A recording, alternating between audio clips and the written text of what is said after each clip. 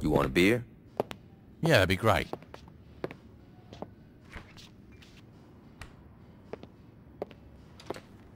Johnny, who's that? Yo, come to the living room and find out. Johnny, I don't care if you just broke out of jail. You do not mess with my furni- Oh my god. It's you. Surprised, Aisha? What? That you're here? Or that you're talking? Pick one. We all thought you were dead. I almost was.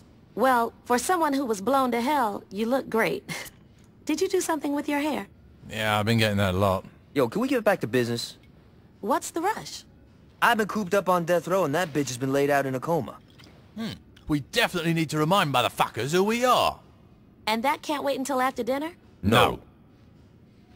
You two haven't changed at all. Well, you know, there's a saying about dogs and blowing shit up. so what's the plan? We get our crew together. Once we got that, we can work on how we're taking back our city. Sounds good. And where were you planning on having this little meeting? No. Well, this place is pretty spacious. No. The color's very soothing. No. Come on, Ish. This ain't no fucking gang clubhouse. Change of plans. We gotta find a new place. Yeah, you got it.